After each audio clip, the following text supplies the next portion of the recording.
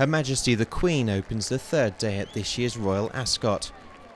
In its 299th year, Gold Cup Day is the busiest of the five days of horse racing, unofficially known as Ladies' Day.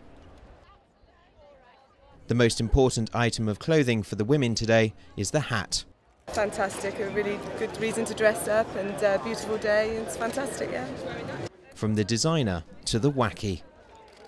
I just I love Edam. So um, I spoke to my milliner and I said, look, what can we do? What can we create? And um, this is her design she came up with.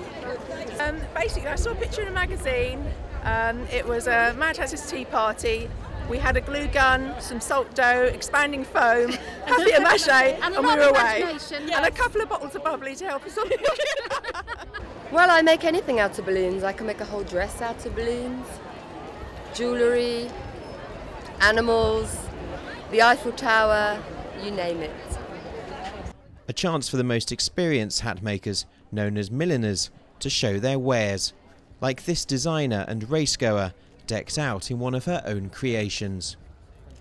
It's really uh, Ladies' Day at Royal Ascot, I think. Something that's very pretty but also fun at the same time. It conjures up what Ladies' Day is all about. And not leaving the World Cup out of today's celebrations, there's even some Vuvuzela inspired creations, just to remind racegoers of a very different sporting event taking place not so far away.